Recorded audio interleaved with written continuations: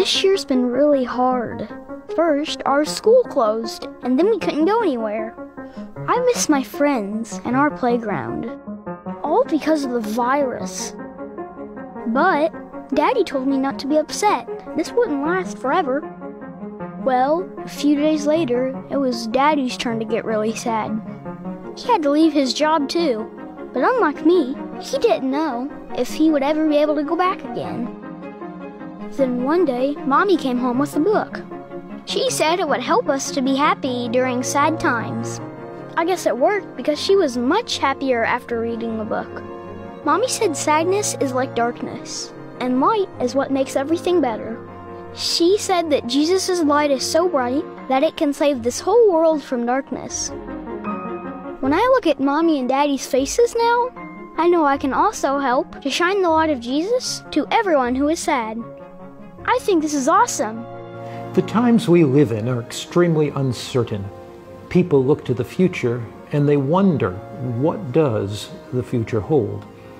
But for many, the future may never come. And many people are asking the question is this really simply a natural disaster? Is it a sign of the last days?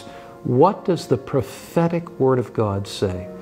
As I began to wrestle with some of those questions personally, I decided to write. The book is entitled Hope for Troubled Times. In this book, the first chapter, I deal with pandemics and pestilences and prophecy. Throughout the book, we look at things like the ultimate vaccine, which, of course, is the grace of Christ for the virus of sin.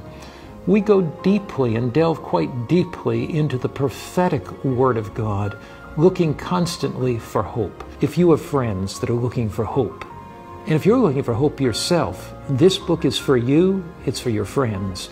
Around the world, Seventh day Adventists will be giving out not tens of thousands, not hundreds of thousands, but millions of these books.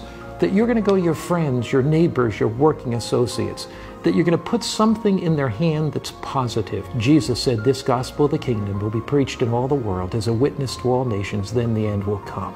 Let your heart soar with new hope and give a copy to your friend. They will thank you for it in eternity.